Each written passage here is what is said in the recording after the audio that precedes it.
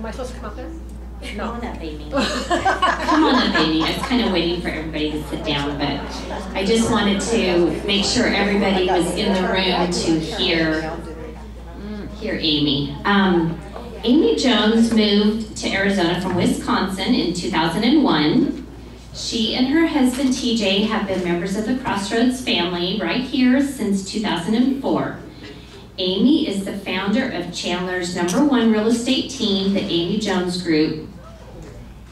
And she is willing to be here today um, to tell her story. Um, several days, months ago, I don't know how many months ago, um, Joyce and I were talking about this particular inspiration. And I had just heard a little bit about Amy's story and not even a whole lot, but I really believe that God had orchestrated this days and months and months ago. And I believe she has got an amazing story to tell. Since then, I have heard it. She's told Kendall and I her story, and it, it, it, she is impacting lives already. And so today, please welcome Amy, and we're anxious to hear what you have to share. Hello. So nice to see all of you. My husband and I um, moved up to Pinetop in June. This is really loud. Um, moved up to Pinetop in June, so I have missed all of you. Um, and I gotta get back to my notes because I don't talk like she does and like just from memory. Um, so really, it's nothing short of a miracle that I'm here today. Um, all my life, I, well, at least for the last few years, I have felt there was something I was supposed to do. And um, this, about six months ago, actually, I came to the end of myself. Um, I've been feeling this stirring in my soul. It grew, it grew, it grew uh, with tremendous discontent. Um, I was extremely blessed. Is it okay? Yeah, everything's okay? Okay. I was extremely blessed. Uh, from outward appearances, everything was great, but inside, I felt like I was suffocating. Um, I was putting on a happy face. I felt like I was homesick for a place I'd never been, and I didn't know how to fix that.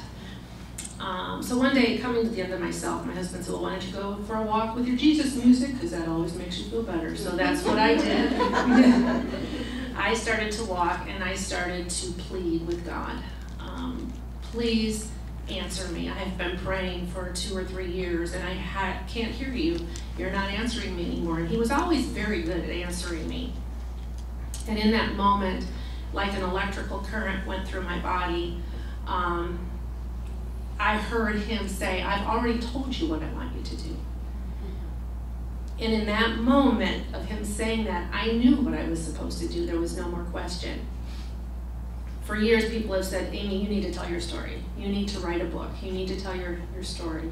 And every time I'd hear it, I'd say, someday, when I'm not so busy, I'm running this real estate business, and you know, maybe when I retire, I'll go up and write. And well, God didn't want to, maybe someday.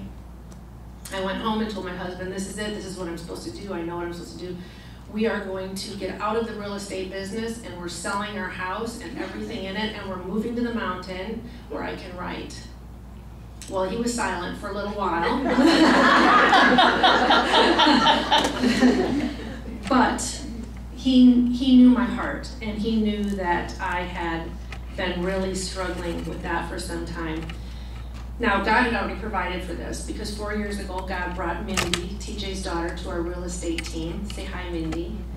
And uh, out of the blue, she was a very successful businesswoman, and she said, I would like to join your team and learn how to sell real estate. And she excelled and she flew with it, and so she took over our business. Um, God had already provided for that. When I was asked today, right after that happened, which was, I will tell you exactly six months ago today on April 7th, um, when I was asked to tell my story, I said immediately yes, because right, tell your story. God told me, tell my story, so I'm going to tell my story. But then I said, oh my goodness, God, really, you know, I would rather poke my eyes out than talk, stand up and talk in front of people. This is not my forte. Anyone who knows that I have been asked to speak anywhere with respect to real estate knows that I would be physically ill and feel like I had to go to the emergency room with a heart attack because it's not my forte. Um, but God has given me a sense of peace. And uh, every day I walk and I listen and we talk and I listen to my Jesus music. And uh, He tells me exactly what to say. And of course, I've told my story uh, many, many, many times. And I forget I had this, so this is it. Tell your story. I missed that slide. So when, while I was walking, one of the things he made clear to me was it was more, I knew that my adoption story would take center stage, um, but he wanted me to share with you, I feel, um, the story of miracles, because I just think that we as, as a nation, as a world, have lost the ability to see his miracles in our lives. This picture up here, if you can see it, that's me and my mom and my grandma. And this was taken about a year before a tragic car accident. Uh, my mom was driving, my grandma Amy, who I was named after, uh, was holding me. This was before car seat laws. And uh, I was 14 months old. And we went through an intersection on a busy highway, and a lady ran a red light and hit us. It flipped our car over, and we spun around. Uh, grandma went into the culvert on the right, and my mom went on the culvert on the left. My mom spent four months in the hospital. Her teeth went through her lips. She had five compound fractures of her pelvis, and her spine was crushed. My grandma died three days later. I flew through the air and landed on top of my mother. How does that happen? Hmm. All my life I told my daughters, you know, God spared me. Now I am no one. I don't even have a college education. So clearly you have something important to do. This is why he spared me. But maybe for a time such as this. Huh? So here's the thing. I tell people my stories and I've had a lot of miracles in my life. And most of the time they say, oh wow, you know, I've never really had any miracles in my life. Um, my life has been pretty unremarkable. And I think the most unremarkable life is the most life, the life most filled with miracles, because God is working behind the scenes in your life. He is those those forgotten cell phones that keep you delayed by two seconds, that irritate you, changes to your schedule, that keep you from being in the middle of that intersection when that car is running the red light. So I would invite you today to recognize those and thank God every day for what He's done in your life. Now, I just turned it off, and I turned it back on. um, every person in this room, though, has been has experienced the biggest miracle in the world. Was uh, is your birth, right? From conception, gestation, all the things that have to happen so that you can be sitting here today. Well, for thousands of babies, I don't know if you can see this, but there are about 40 to 50 million abortions a year over the world. That's about 125,000 lives taken every single day. So for these babies, for whatever million different reasons there are, their life is not thought of as a miracle. They are not, they are not thought of as a blessing. They're not, their existence is not a cause for celebration. And I was one of those babies. I was adopted at birth, and I've known this since I was three years old. And I was also blessed to have two of the most wonderful people in the world adopt me. This is my mom and dad. And when I'm talking about my mom and dad through this story, it's these people that I'm talking about. On my 12th Christmas, my mom and dad gave me a picture of my mom and my birth brother, Tim, who I found out was two years older than me. This is my birth mother. And up until this, the 12 questions, I had never seen their faces, so it made it very real for me. I'd always heard the story. Um, Gail was renting an apartment with her husband and her little boy from my, my mom, who was managing an apartment complex, while my dad was in the Navy in San Diego. One day, Gail came over to their house and asked to use their phone. She said that her and her husband were going to be getting a divorce. He was going to be getting out of the Navy. She wouldn't be getting any support, so she had decided to put her baby up for adoption. She was going home to live with her her mother. She couldn't take two babies home, and uh, she wanted to call her doctor. So that night, my mom and dad talked, and they went over to Gail's apartment and um, said that they would like to adopt her baby. And that's exactly what happened. A few months later, um, she, she, uh, they adopted me February 1959. Now, when I had two daughters of my own, I realized a part of their story was missing.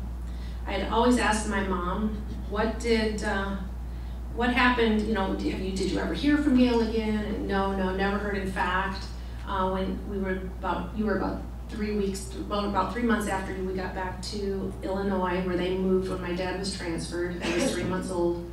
Um, we got a call that Gail had died. And I said, wow, you know, this is as I'm older, not when I was three. what did she die from? And my mom would always say she died of a broken heart. Hmm. And that's the only that's the only answer I had. Now when I had my two little girls, I thought, dies from a broken heart? Like all of a sudden I'm 22 years old and I'm thinking, up until then I had no questions, but I thought, if she really did die, there's probably some medical issues we may need to know about or mental health issues. Um, so I was really curious, and I so I went down and I talked to my mom and dad, and I said, you know, I'm thinking about going and looking for my brother, who was two years older than me. He would have been 24 at the time. So do you know where Gail was from, so that maybe I could find Timmy? And my dad said, oh, she was from Globe, I think, Globe, Arizona. Now remember, I'm living in Wisconsin, and uh, Arizona's a long way away, and I'd never heard of Globe. And, uh, and so I went and got an atlas. This was 1981. and I looked up Globe, and my mother said to me at the time, and I saw her shoot him the stink eye, so I knew something was up. And she said, um, well, if you find, I said, I, I, would really like to find Timmy. And, and she said, well, if you find your brother, you'll probably find your mother. And I said, I know. And that was all that was ever said about it. And I understood the deception because back then, an adoption wasn't final for six months. And she was, my mother was terrified that she, that Gail would come back and try to get me back. It was a private adoption. She knew they were moving to Illinois and, you know, this whole thing. So, so I understood it and we never talked about it again. So I decided that I would go and look for Gail and I joined an adoption support group and they gave you all kinds of tips on how to find your birth mother, what, where, how to look, things to do. Always keep her secret because you never know who would, you know, you may be talking to someone who knows her and nobody knows, a husband, kids, whatever. Um, and for me, the biggest thing was, and if and when you find her and you make the first phone call, make sure she takes down your phone number. Because the first instinct she'll have is to hang up the phone. And you will feel rejected again. You won't call her back and she won't know how to get a hold of you. Again, before caller ID and before cell phones, right? So in October 1981, October's a big month, isn't it? Here I am. October 1981, when I was 22 years old, I was on my way to Globe, Arizona. Now I have to tell you, this is my little daddy. And when he dropped me off at the airport to go look for her, I see this because I miss him so much the doubts just started creeping in. And was I doing the right thing?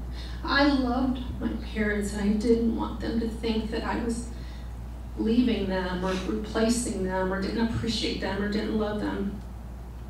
And the whole flight, I kept seeing him and I was just beside myself. I wasn't big into prayer then.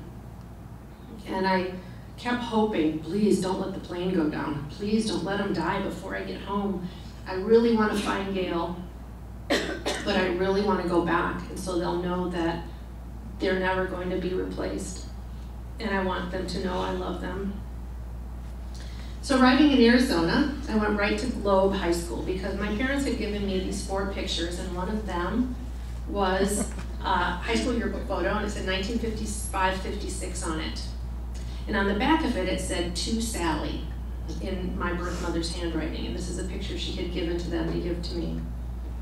So I went into the Globe High School looking, I didn't have her maiden name, I only had her married name, which was Vendor, but I had Gayle, G-A-Y-L-E, and I had her face. So I pulled the 1955-56 yearbooks and I sat on that those steps in, in Globe, and I looked for her face, and it wasn't there and I was so disappointed. I didn't have a lot of money, and I had flown to Arizona to find her with one clue. I don't know why I thought that I could do that, but I thought I had all the answers. and I didn't know what to do at this point.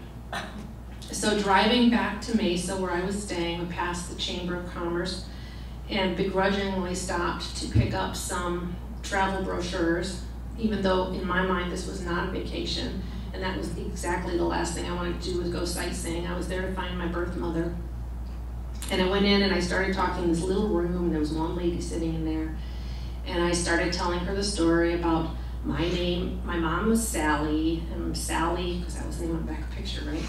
so I was making this story, and Sally was my was had a friend who was from Globe, and her name was Gail Bender when she got married, and my mom gave my mom Sally's dying wish was that I would find her. What a lie! But it was I was keeping her secret, and. Uh, the lady said, "Well, you know, I don't, I don't write." She said, "I'm from here," and she says, "I grew up here." And she said, "I went to school in those years." She said, "So let me ask around. What's your phone number? And I will call you if I hear anything." Well, I left there with my brochures, thinking that would be the last I'd ever hear from her. And that night, I prayed. I think it was probably the first time I ever truly prayed. And I can remember laying in bed saying, "Okay, God, if you want me to find her, you have to give me another clue because I am out of clues. But if you don't give me another clue, then I'll just assume that I'm not supposed to find her, that this is what you want me to do, is go home and be done with this and never think about it again. Well, the next morning, the phone rang, and it was a lady from the Chamber of Commerce. And she says, You know, there's a vendor family that lives in Superior. Why don't you try Superior? Well, I thought, wow, is this God? No, no, no. This this is just a coincidence. This is just a coincidence. So I was on my way to Superior. Now, one of the pictures they had given me was this one. And I don't know if you've ever been through Superior, but you see that little smokestack over there on the left-hand side. Um, as I went around the corner into Superior, I saw the smokestack. Now, I had passed through Superior to get to Globe, but never noticed it. And I thought for sure I had found her. So I went up to the Superior High School. That's actually me in 1981, standing up there with my folder of notes. and I went in and I said, I would like to see your yearbooks from 1955 and 56. And they said they all burned in a fire several years ago. Aww. As the color drained from my face and my knees got weak, weak uh, a lady walked out of the back room and she looked like she was in her 70s. And she said, Can I help you? And I said, Well, I've got this friend of my mom's, and I started to tell her, and she took the photo, and she said, well, that looks like Gail Beatty. And I heard the name, and I didn't say a word, and she went over to a file, file cabinet, and pulled out a file folder, and there, stapled across the top, were the four photos of my birth mom, one that matched the photo that I held in my hand. And she said, oh, come on back to my office, let's talk. And so I did, and uh, she says, okay, now you can tell me this is your mother, isn't it? And I says, no, no, no, no. Uh, my mom's Sally. And I started through the story, and she said, honey, get a mirror.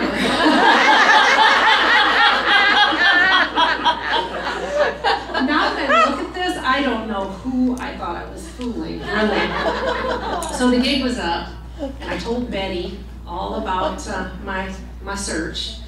And uh, she actually said, you know what, um, your mom's brother, Jerry, just moved from Superior. His son, his youngest son, just graduated from high school. She went and got a file. She said, here's his number. Uh, give him a call. And uh, I left that building that day, clutching that number, went down the hill to a little grocery store. There was a payphone. and uh, I thought, okay, wow, I'm going to talk to my first, first time I've talked to a blood relative, you know. So I called him and I said, um, he answered, real southern kind of drawl, and I said, uh, Jerry, this is Sally. Sally had got a lot of play that weekend. and uh, I says, you know, I, I, was a friend of your sister's. I'm over here in Superior. Betty at the high school said you might know where she is. Oh, yeah, yeah, she's living over there in Tempe with mom. Here's her number. So I went back down to Mesa because I wanted to pull my thoughts together and look over my notes and try to figure out how I was going to get her to take down my phone number before she hung up on me. And uh, I paced, I paced and paced, and then I made the call. And the phone rang, and she answered, and I said, uh, Hello, is this Gail? And she said, Yes, it is. And I said, Gail, this is a really important phone call. Um, could you take down my number in case we get disconnected? And I waited for the click. And she said, sure, just a minute.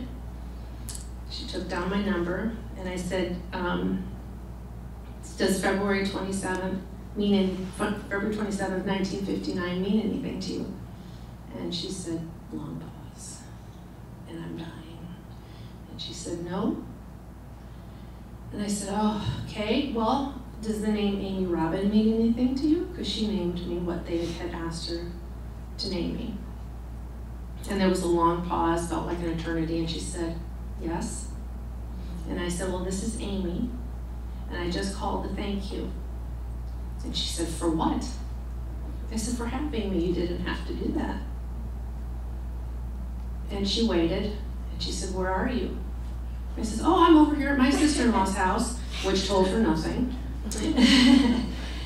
and she said, I'd like to see you.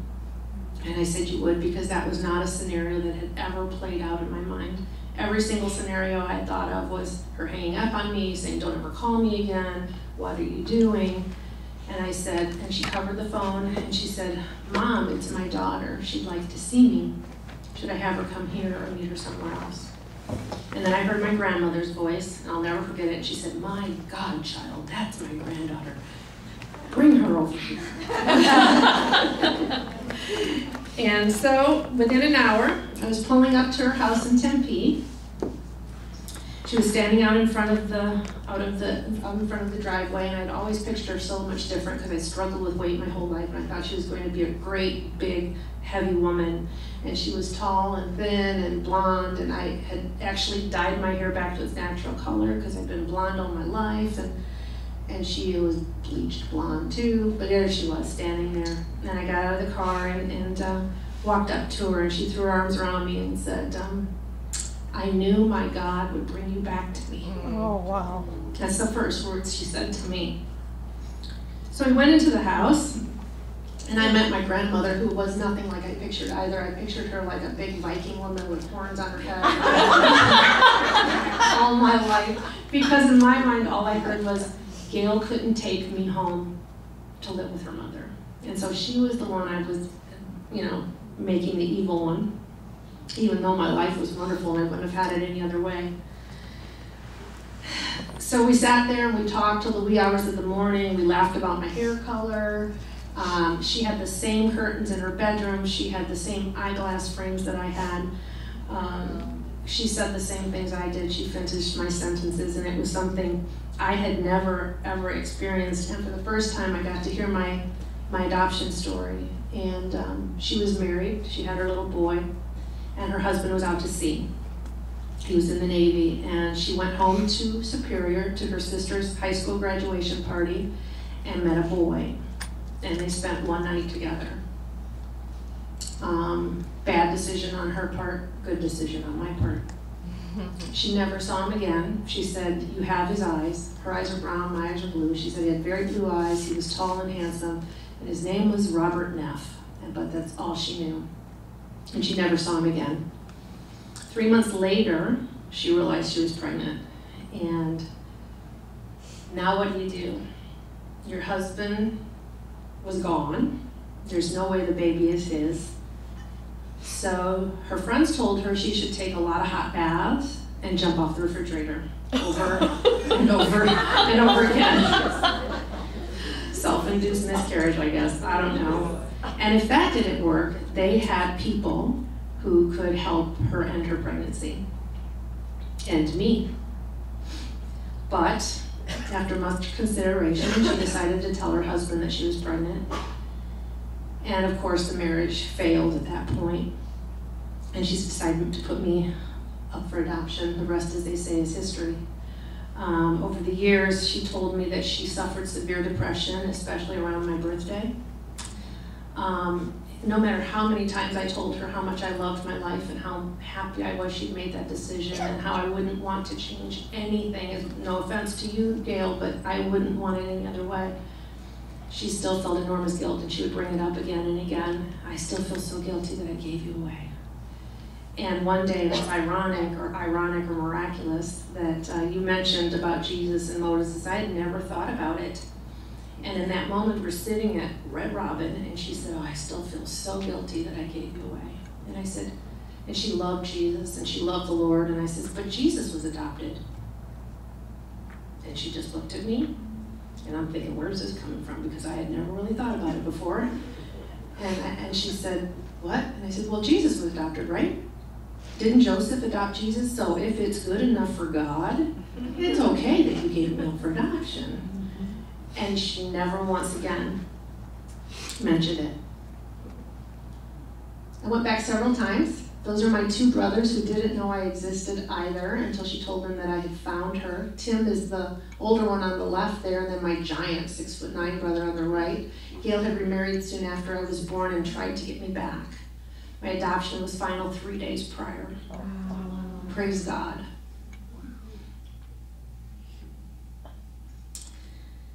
Over the years, even my parents built a friendship with her. That's her with my mom and her with my dad.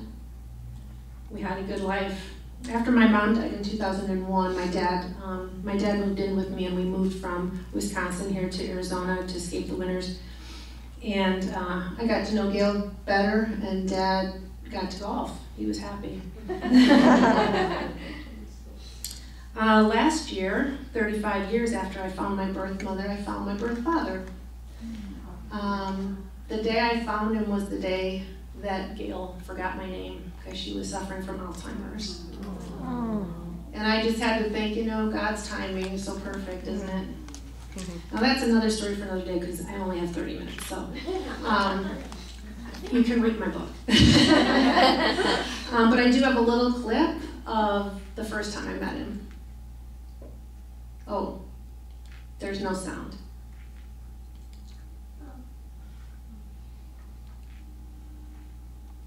Again. Oops.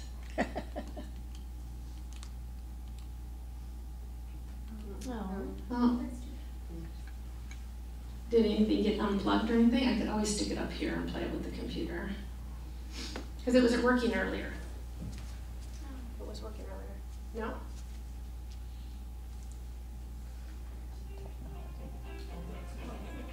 Now let's try it. That's music.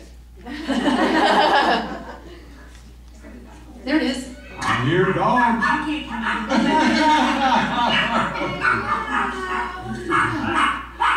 videotaping, so. Took you long enough to find me. I know. I'm actually going to see him tomorrow as a surprise. It was his 83rd birthday yesterday, so he lives up in Laughlin. So, but a whole series of miracles um, of how we even came to be in the globe that day, and I call them miracles, even though the circumstances weren't exactly what people would think of as good. I'm living proof that God takes everything mm. and makes something good out of it. Mm.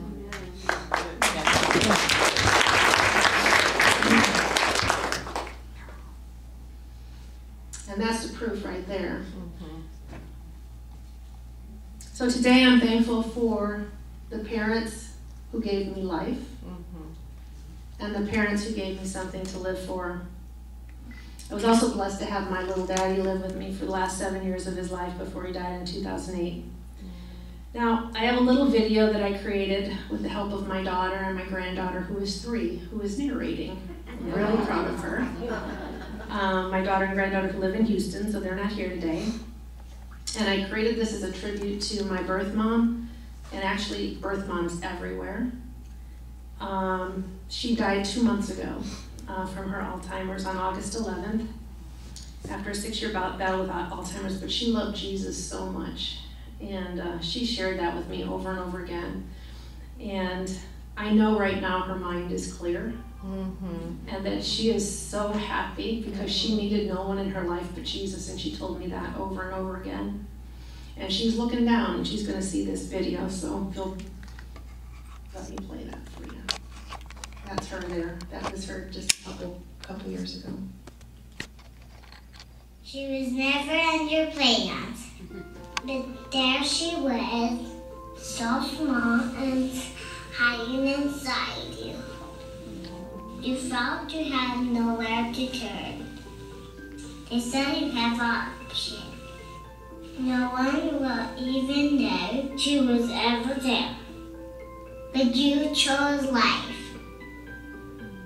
When you close your eyes, could you see her smiles and hear her laughter?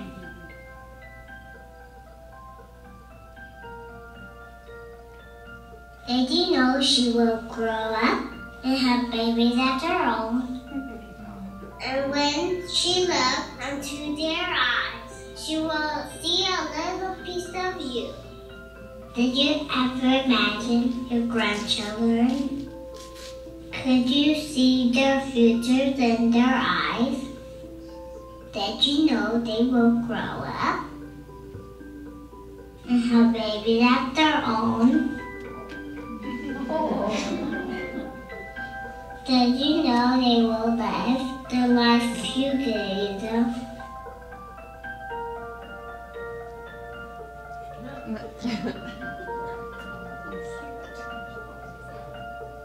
When you closed your eyes all those years ago, did you imagine me? Did you know I love to sing? Could you see me dancing?